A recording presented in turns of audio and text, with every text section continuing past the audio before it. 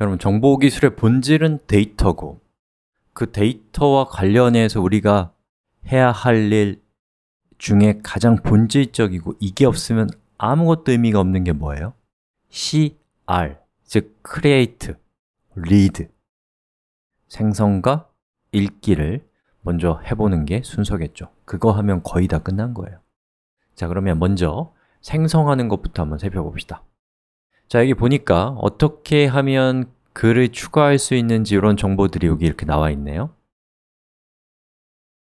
자, 대부분의 경우에 rowdb에서는 여러분이 이 db, 저 변수에 들어있는 것을 rowdb의 인스턴스가 들어있다고 하거든요 rowdb의 인스턴스에게 get은 뭐예요? 가져온다잖아요 뭘 가져오고 싶어요, 제가?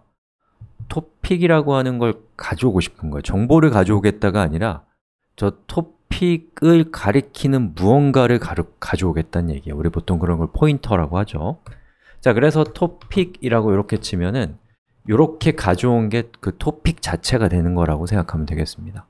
자, 그럼 저는 여기 토픽에다 글을 쓰고 싶은데 글을 쓰려면 오쏘가 있, 어야 되는데 오쏘가 먼저 있어야겠네요. 자, 그럼 우리 오쏘부터 만들어 볼까요?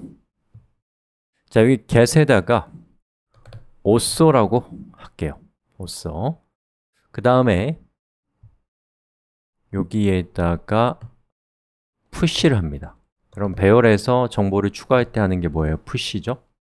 그 다음에 제가 추가하려고 하는 데이터는 id, 이름, 프로필처럼 각자가 서로 순서가 없어요 그럼 뭘 쓰면 돼요? 객체를 쓰면 됩니다 id는 1번, name은 egoing 프로파일은 developer 이렇게 하고 여기서 잊지 말아야 될 거, write를 하시기 전까지는 실제로 우리가 수정한 것이 반영되지 않습니다. 자, 됐죠? 자, 그리고 다시 한번 실행시켰을 때 이 oso라고 하는 저 프로퍼티가 어떻게 바뀌는지 보세요. 자, 보시는 것처럼 이렇게 데이터가 추가된 것을 볼 수가 있습니다. 자, 그럼 연습 삼아서 우리 이제 토픽도 한번 만들어 보죠. 저 이거 주석 처리할게요. 자, db에 get에서 토픽을 이제 이번엔 가져와야겠죠? 그 다음에 push를 통해서 데이터를 추가해 주는데 id는 1이고 그리고 title은 어, rowdb로 합시다 그리고 description은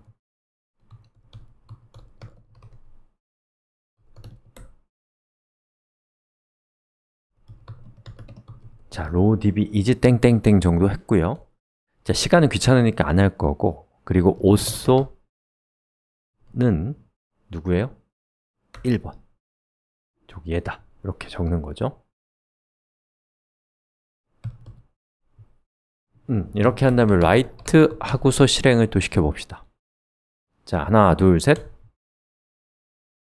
자, 보시는 것처럼 토픽에 이렇게 데이터가 추가된 것을 볼 수가 있습니다. 이런 식으로 하면 돼요. 그럼 우리 행 하나만 더 추가합시다. 행이 너무 적으면 뭐 할 수 있는 게 없거든요. 자, 이거 다시 주석 처리하고 예, 그대로 가져와서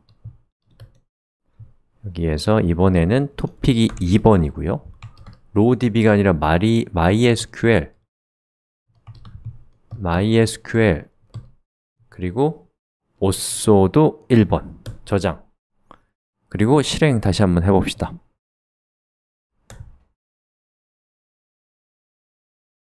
이렇게 하면 보시는 것처럼 topic에 행이 하나가 더 추가된 것을 볼 수가 있습니다. 자, 그럼 우리 웹브라우저로 요거 코드 가져가서 거기서도 실행시키고 끝냅시다.